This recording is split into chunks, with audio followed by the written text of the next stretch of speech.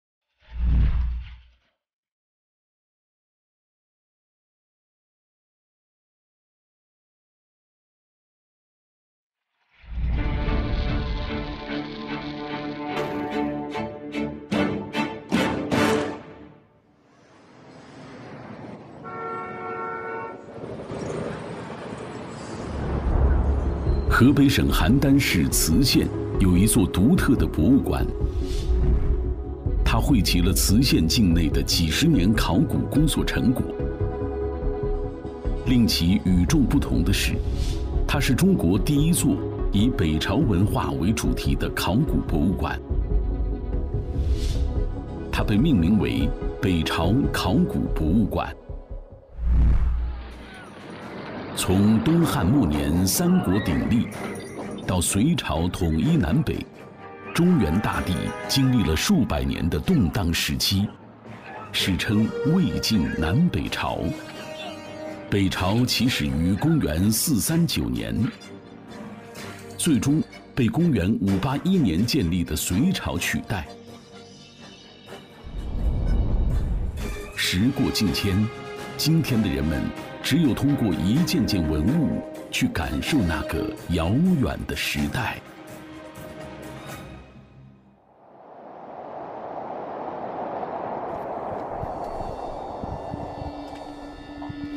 随着磁县考古工作的开展，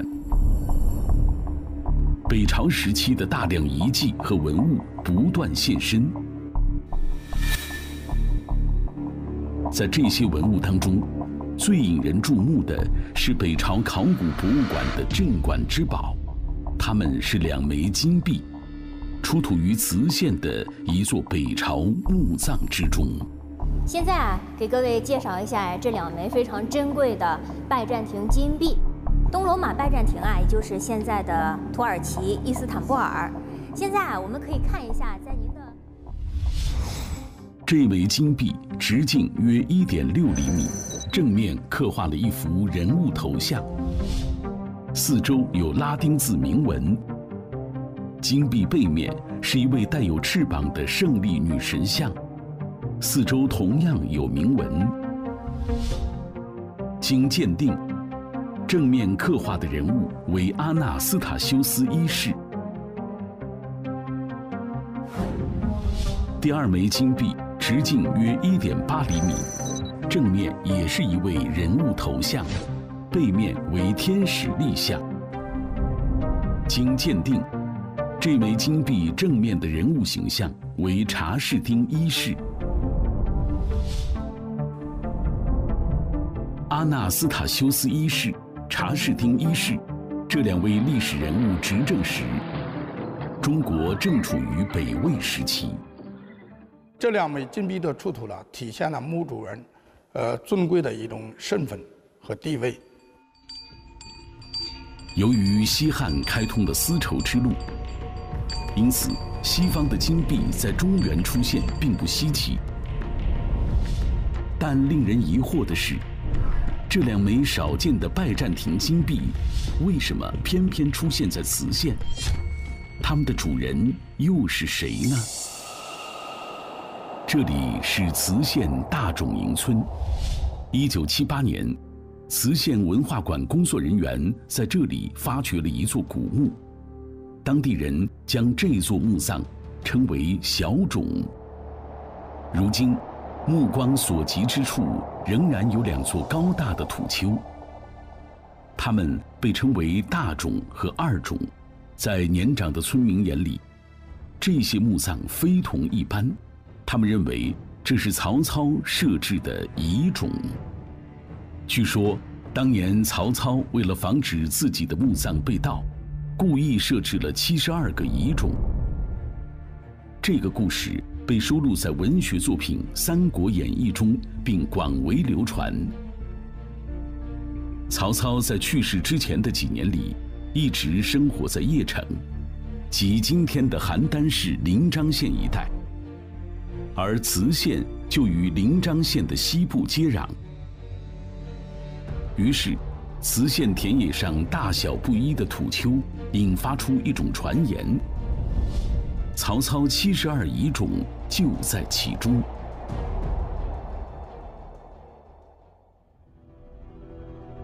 不过，一九七八年，两枚拜占庭金币从小冢中出土，这个传言不攻自破，因为曹操去世很多年后。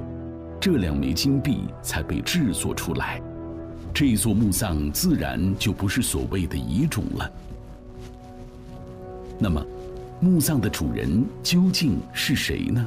因为当时没有封土了，呃，这墓顶离这个地表，呃，很近，所以当时在耕地的时候把墓顶给铲坏了，所以当时我们进行报批手续以后，呃，进行了这个考古发掘。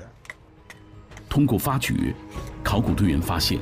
小冢是一座带有斜坡墓道的砖室墓，它由斜坡墓道、甬道和墓室组成，南北总长约三十五米，墓室深约七米。就是在这深埋于地下的墓室里，考古队员清理出了包括拜占庭金币在内的诸多珍贵文物。当时与金币一同出土的还有这件金冠饰，它整体使用透雕技法塑造成水滴状，并以花朵枝蔓盘旋缠绕相接成形，其间以珍珠宝石点缀。在金饰的左上部有一个端坐的莲花童子形象。最为精妙的地方在于，与莲花童子对应的金饰中部的人物形象更为精美，其裙带飞扬、姿态曼妙的模样，让考古队员想到了敦煌壁画中身披彩带，在空中起舞的飞天。这件器物的出土，也体现了墓主人，呃，身份。呃，非同凡响。同时呢，也是当时社会佛教文化影响的一种体现。这两枚拜占庭金币，不论是拜占庭金币，还是这件金冠饰，它们似乎都来自西方。这不禁让人好奇，墓主人会不会是一位来自西方的使者呢？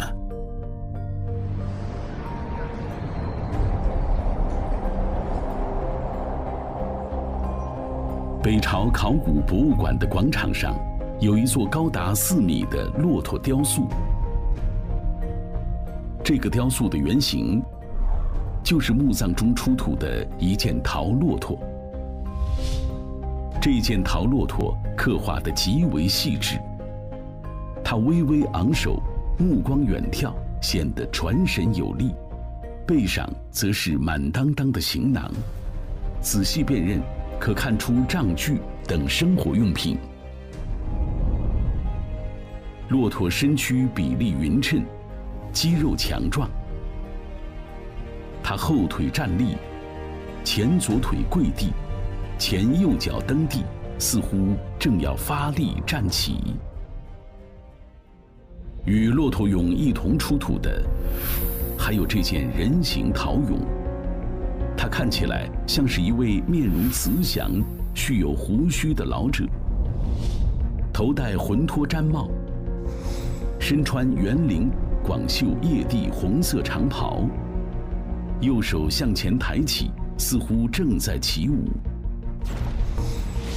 引人注目的是，老者左手持有一件红色长条形锯齿状物，与其他陶俑迥然有别。就是这件陶俑呢，我们称之为萨满巫师俑。从它的衣着造型上来看，他不是一个汉人，他是一个胡人的形象。你看他的面容非常的呃精致，雕刻的非常精细，而且手里拿着东西。好像是在跳舞。种种迹象表明，墓主人似乎并非中原人士。随着清理范围逐渐扩大，考古队员在墓室东南角发现了骸骨。其实的棺床呢是原来西边，啊，它的棺床已经遭到破坏，并且有被盗的痕迹。呃，在由于呢地下水的浸泡。就是现在这个棺椁已经发生移位，漂流到这墓葬的东南边，现在只剩剩下这个颌骨和肢骨了。出人意料的是，经考古队员鉴别，这是一位少女的骸骨，她的年龄只有十三四岁。那么，这位早早死去的少女究竟是谁呢？骸骨的出现为墓主人的身份提供了新线索。没过多久，更加关键的文物出现了。考古队员在泥土中找到了墓志。墓志的开头部分写道：“为骠骑大将军，开府仪同三司长广郡，开国公高公妻如如公主吕氏。”会赤帝莲如如主之孙，安罗尘可汗之女也。他表明这位少女是如如主的孙女，也被称作如如公主。至此，墓主人的身份终于真相大白。那么，墓志中的“如如”二字又代表什么意思呢？历史上，如如字号柔然，是生活在中国北方的一个游牧部族。北朝时期实力强大。据墓志记载，公元五四二年，这位如如公主下嫁于东魏丞相高欢的第九个儿子高湛。此时的他只有五岁，高湛也只有八岁。北魏分裂以后，呃，东西魏。啊，迫于当时的形势，啊，都与这个柔然啊采取了这个联姻的政策。啊，公元五百四十二年，啊，东魏的权臣高欢为他的第九个儿子，就高湛，也就是后来的北齐武成帝高湛，迎娶了柔然的这个如如公主。可惜的是，如如公主在十三岁时就去世了。但作为可汗的女儿。如如公主的地位非同一般，因此下葬礼仪和葬地都不同寻常。这也是墓葬中出现两枚拜占庭金币的重要原因之一。呃，目前在中国的这个新疆、甘肃、青海、宁夏、陕西啊，包括河北，呃，在丝绸之路的沿线上都发现过不同时期的东罗马金币，嗯。啊南北朝时期的邺城呢，正是处在这个东西文明交流、南北民族融合、多元文化碰撞的一个舞台。所以说，在这个实现如如公主墓出土的这两枚东罗马的金币，正是当时我们所说东西文明的交流和商贸往来的啊历史见证。据墓志记载。如如公主最终下葬于北齐献武帝高欢的义平陵中。那么这个墓呢，有确切，呃，墓志给我们记载了墓主人是谁。那么在它的西北方向三百米左右有一个高大的封土。那么这我们从这个史料和考证来看，我们可以推测到，那是高欢起先武啊，他的一平陵。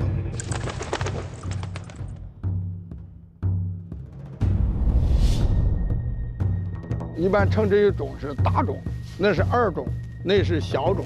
呃，据此来看呢，我们感觉到这个村庄，在这村民的来由和这个墓葬，它是紧紧联系在一起的。据考古队员调查，大冢的封土直径约八十米，残高约二十五米。虽然北部遭到严重破坏，但仍然不失规模。鉴于保护的需要。这座墓葬并未被正式发掘。一九八三年，中国社会科学院考古研究所与原河北省文物研究所联合组成邺城考古队。他们开始在邺城遗址以及磁县境内探索那些被掩埋的历史。这里究竟有没有墓志记载的皇陵区？它有多大范围？墓葬中又埋藏着哪些秘密？破解这些问题成为考古队员的重要任务之一。三年后的一九八六年，考古队员在磁县境内开展了详细的勘探工作，众多北朝墓葬和珍贵文物就此现身，磁县北朝历史的多项考古记录也就此打破。现在啊，我们可以看到我们的正前方呢有一个陶俑镇啊，他们都是一九八七年啊出土于万章壁画墓的陶俑。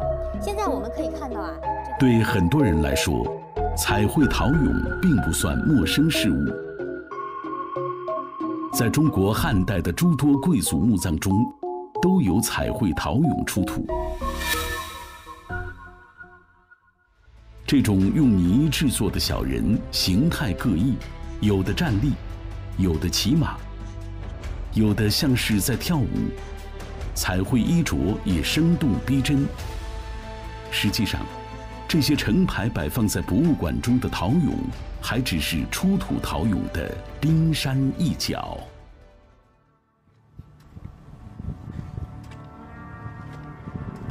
一九八六年。考古队员以如如公主墓、大冢为中心，扩大了发掘范围。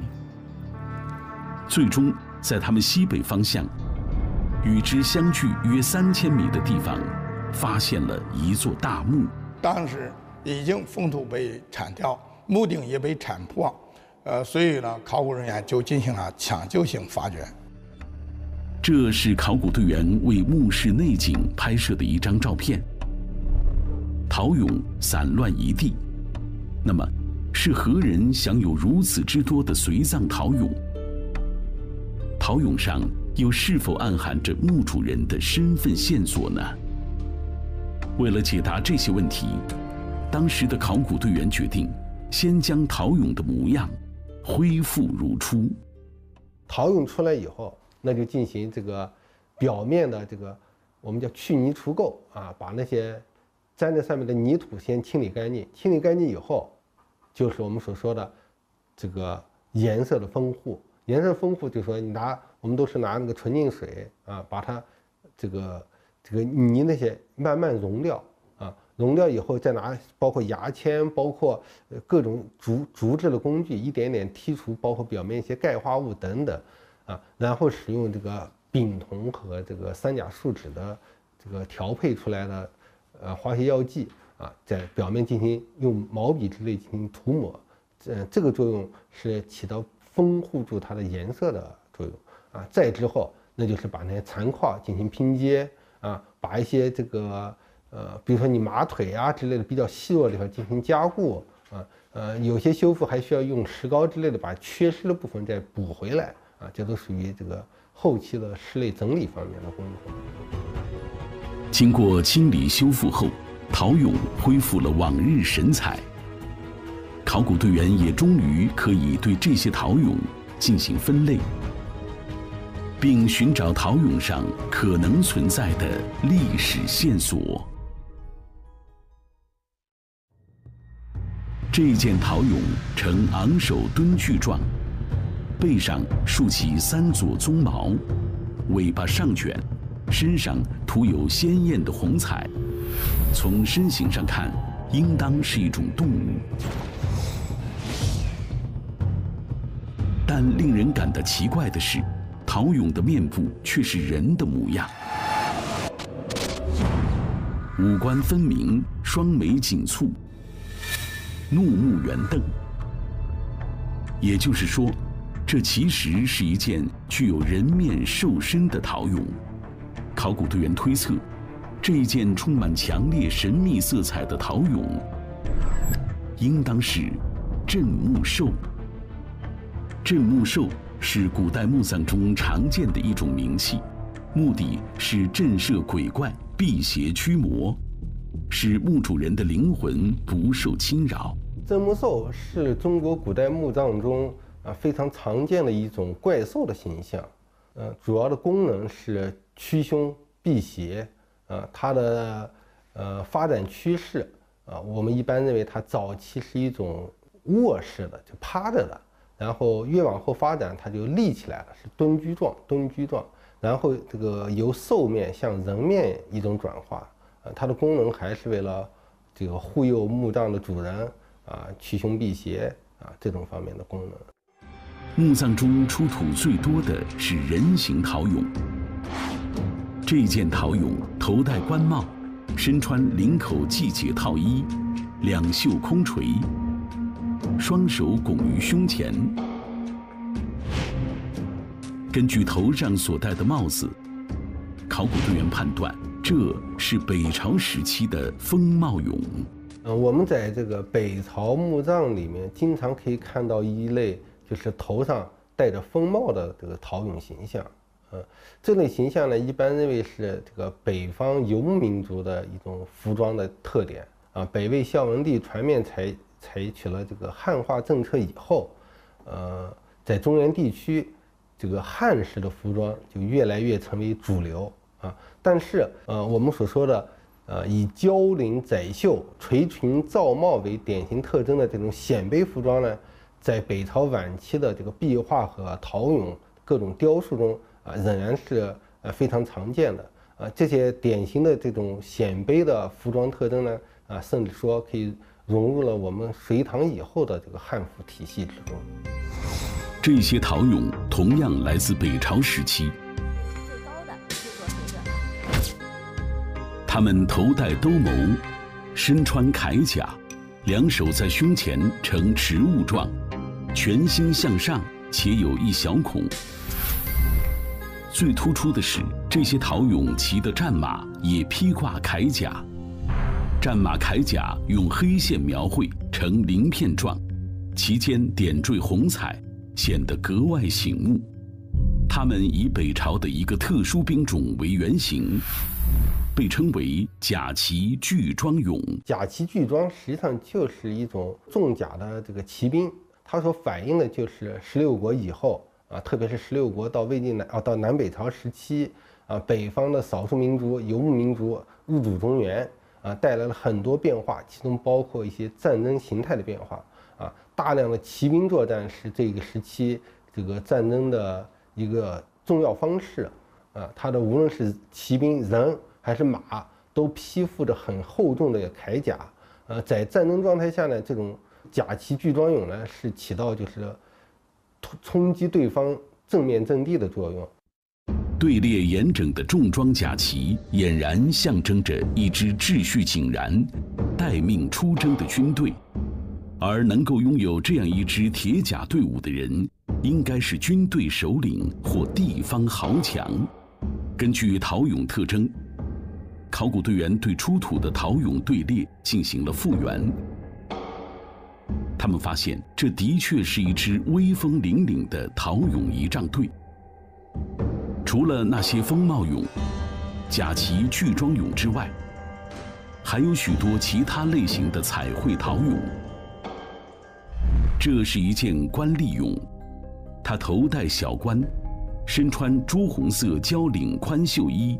外罩两当衣，双手拱于胸前，表情略显凝重，似乎正在思索着什么是非常。完整的啊，它有着三最的特点。哪三最呢？第一就是数量很多，当时啊一共是出土了一千八百件左右啊。第二呢就是组合非常的完整，现在我们可以看到啊，当中有镇墓俑、仪仗俑，还有世仆俑等等。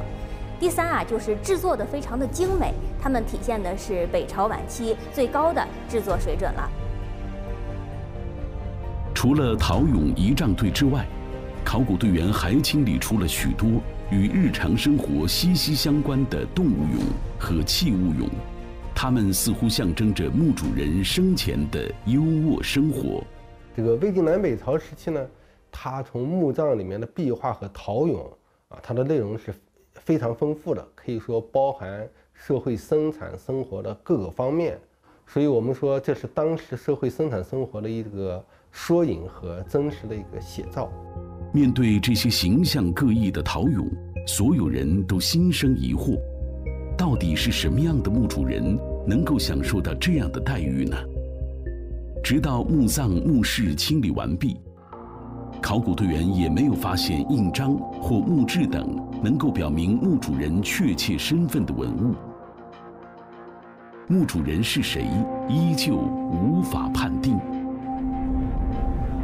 然而，出人意料的是，墓主人身份的线索竟然隐藏在这座墓葬的墓道中。但是，我们发觉它的墓道里面的壁画保存的非常好啊，特别是这个，呃，呃，墓道两侧的车马出行仪仗图，以及甬道的呃这个门壁上的那个大的朱雀图，保存的还是非常好的。墓道里面主要反映的是那种仪仗出行，这种仪仗出行。就是代表着你的级别、你的等级，所以这也是我们推断它是帝王陵的一个重要原因。壁画是古人用非凡想象力构建的一个地下世界，就像是地上的石窟壁画一样，墓室壁画也承载着人们心灵深处的敬意和期许。当时。墓道壁画的清理工作十分困难，地下水不断上涌，考古队员只能一边抽水一边清理。水位下降之后，考古队员就利用传统的烘烤方式，对壁画进行干燥处理，然后再往壁画表面施胶、贴纱布进行加固。以保证壁画的每一部分图案都保留原位。固定好壁画图案后，便是分割和接取工作。切割的这个呃这个要求，首先是呃你操作要方便。比如说你你尺寸太大了，你操作起来是很费劲的。所以这个切割大小和你具体操作有关系。呃，另一个很重要就是说。你要保存这个画面的完整性，尽可能多的保存这个这个壁画原来的一些呃有价值的图像啊，采取的一些呃变通的措施吧。经过几个月的努力，考古队员成功完成了一百多块壁画的接取工作。然而，在壁画接取之后，一个新问题又摆在考古队员眼前。这些脆弱的壁画该如何运输到考古单位所在的石家庄呢？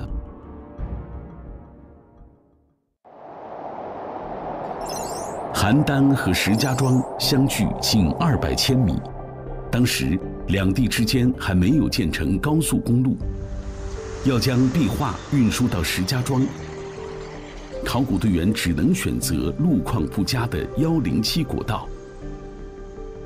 当时的幺零七国道是一条重要通道，每天都车水马龙。如果在白天运输壁画，不仅行驶速度慢，而且容易发生意外。因此，考古队员决定在晚上运输壁画。主要原因还是当时的这个车况、路况、交通条件比较差，呃，就害怕，因为壁画毕竟是比较薄的，即使经过加固以后。呃，我们也很担心二次损坏，比如说你你在路上颠簸啊，造成了它的破碎啊，或者说脱落啊，等等这些，就说对于我们来说是工作上的一个呃很严重的失误了。如果发生这种情况，所以当时就呃采取就开得很慢吧，啊，另外要保证以保证文物的安全啊为主。经过一段时间的精心运输，壁画全部安全到达石家庄，并等待着后续的修复和展出。此时，墓葬现场的清理工作也接近尾声，但是考古队员仍然没有发现指明墓主人确切身份的文物。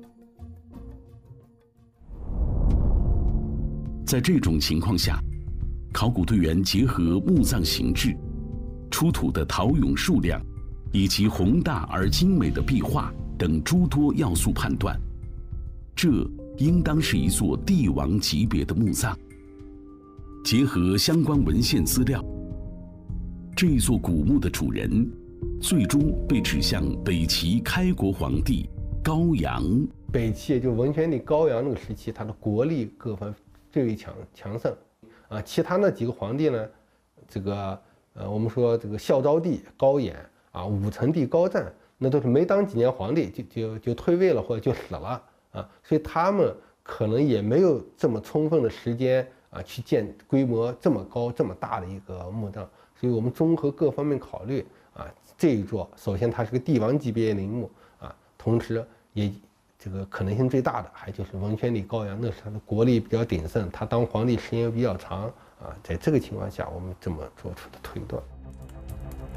公元五五零年，东魏孝静帝元善见在政治漩涡中被迫退位，高阳登上帝位，北齐由此建立。但仅仅九年后，高阳就去世了。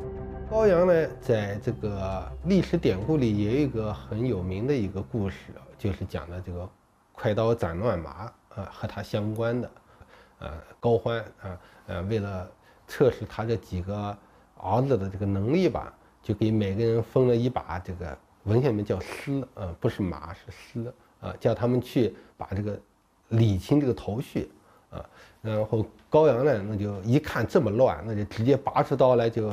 一刀砍断，然后就很容易就把它理顺了啊！从这个故事里面呢，也可以看出，就是这个高阳这个人比较果断啊，比较这个这个呃能力比较强啊，敢作敢为。在他当皇帝的初年，还知道就说这个勤于政事吧啊，励精图治。在北朝考古博物馆的特别展厅中。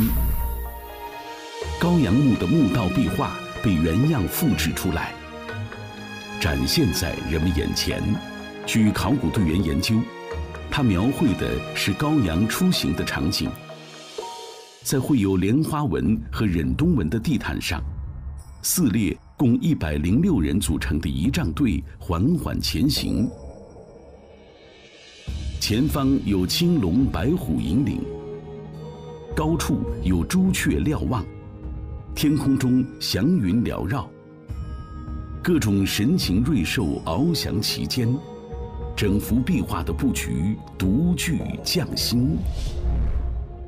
为了使人物形象生动逼真，当时的画师从正面、侧面、背面等多角度描绘，每一个人物都表现出一种镇定自若的神态。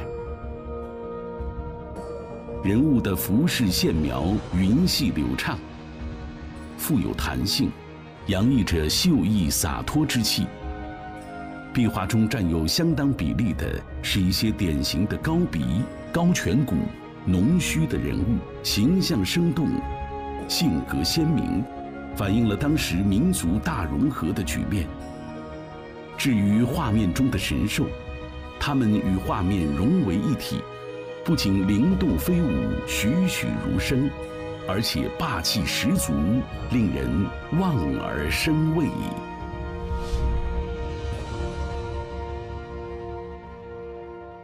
万章墓的壁画呢，呃，气势宏伟，场面壮观，啊，人物形象生动传神，啊，从墓道，嗯，到甬道到墓室都有大幅的壁画，啊，万章壁画墓里面的壁画呢。啊，它是继承了中国传统的这个绘画技艺，然后充分体现了北朝晚期啊的这个宫廷内部的啊绘画技术，同时对这个隋唐以后的中国的绘画艺术啊产生了深远的影响。自二十世纪七八十年代以来，邺城考古队在磁县境内开展了大量的考古工作。这是考古队员绘制的一幅邺城地区北朝墓群分布图。图上的每一个实心黑点，都代表一座墓葬。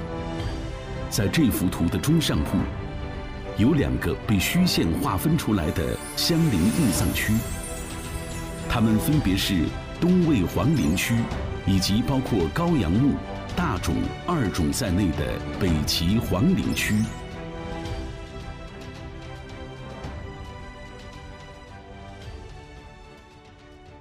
这张图就是邺城遗址的这个总体的一个平面图啊，呃，右边这一片就是邺城遗址的呃城址范围，包括我们所说的曹魏到十六国时期的邺北城啊，东魏北齐时期的邺南城内城，城址是当时的这个社会生产生活的一个啊区域，而在邺城遗址的西面啊，就是我们所说的这个北朝墓群。啊，现在更明确的说，是东魏北齐时期的皇陵区，南面一直到河南省安阳市境内呢，是一些中下级官员的这个墓葬区。